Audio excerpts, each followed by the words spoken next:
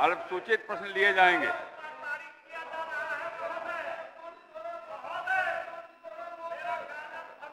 अभी होगा। कार्य स्थगन अभी हो सकता है।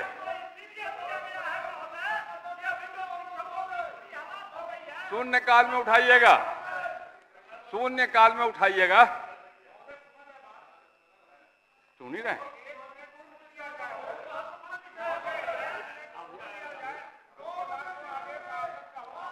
समय पे उठाइएगा ना, प्रश्नोत्तर काल है ना? प्रश्नोत्तर काल है, समय पे उठाइएगा।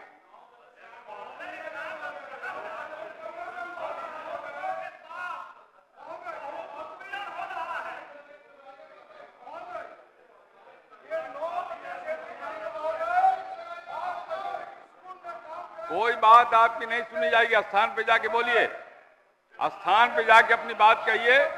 आप स्थान पे जाइए। जो विषय रखना होगा शून्य काल में रखिएगा। अभी प्रश्नोत्तर काल है, दूसरी चर्चा नहीं हो सकती है।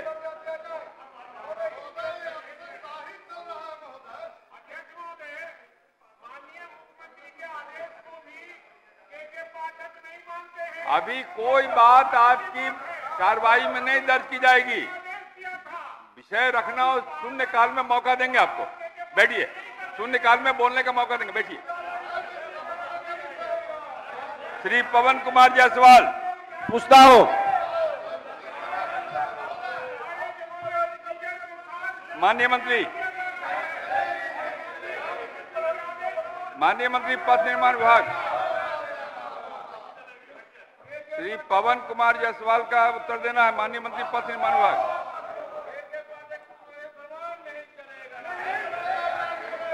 ईमानदारी कर रहा है के के पाठक और माननीय मुख्यमंत्री चुपचाप बैठे हुए हैं ये सब की बात है तो बिहार के सब की बात है अपना स्थान पर जाके बोलिए यहाँ कोई बात नहीं दर्ज की जाएगी। बैठ जाइए बैठ जाइए बैठ जाइए। अरे आप तो समझदार आदमी है पुराने आदमी हैं साहब। आप जानते ही हैं कब का, कब कौन विषय रखना है आप जानकार हैं। शून्य काल में आपको मौका देंगे बैठिए।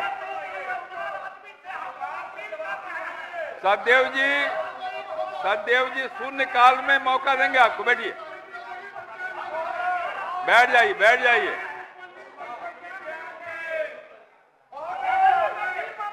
अरे भाई, आपने कार्य सगन दिया है ना तो समय पे उठाइएगा ना। तो समय पे उठाइएगा तो बोलने का मौका देंगे। जाइए, बैठिए, अपने सामने बैठिए। बैठ जाइए बैठ जाइए बैठ जाइए, मान जाइए। मान जाइए, बैठ जाइए बैठ जाइए। बैठ जाइए ना अभी बैठ जाइए ना बैठे हुए अभी बैठ जाइए। माननीय मंत्री शिक्षा विभाग। उत्तर संलग्न है पूरक पूछिए। ऐसे माननीय मंत्री का उत्तर आया हुआ है। हाँ हाँ पूरक पूछ लीजिए। जिस तरह से बीपीएससी के शिक्षक के संबंध में कहा है नियोजित शिक्षक के संबंध में कोई उत्तर नहीं है तो माननीय मंत्री जी से हम जानना चाहते हैं कि नियोजित शिक्षक के बारे में भी उत्तर में स्पष्ट नहीं है।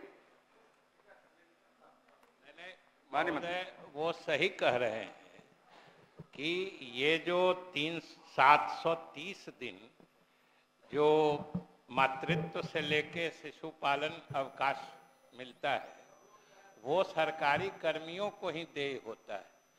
और माननीय मुख्यमंत्री जी ने नियोजित शिक्षकों के सरकारी शिक्षक होने का रास्ता भी बना ही दिया है।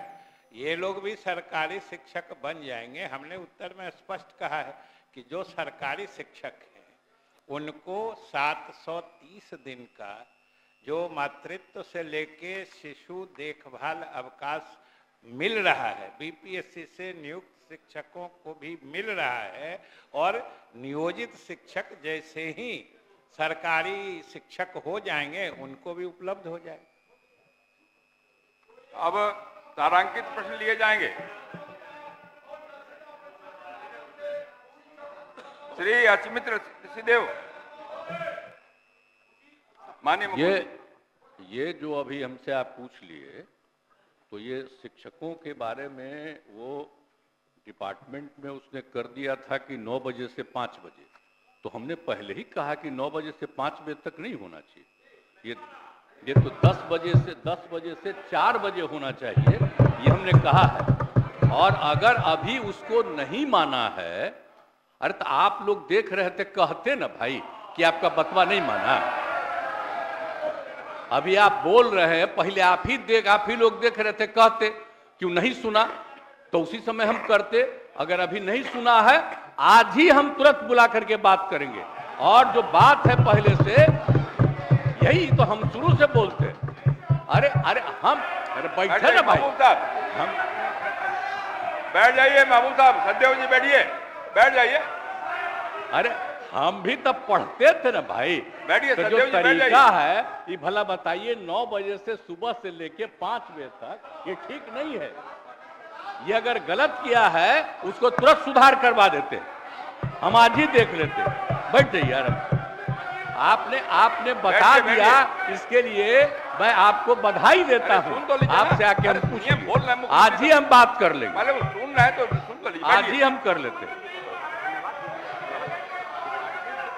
बैठिए बैठिए। महबूब साहब बैठिए। सुनिए बैठ जाइए बैठ ली अरे भाई बैठ। बैठ जाइए बैठ जाइए। महबूब साहब आपको तो मुख्यमंत्री जी का धन्यवाद करना चाहिए। कि जो सवाल सदेव जी वगैरह उठा रहे हैं, उसकी पूर्ति करने का काम किया उन्होंने।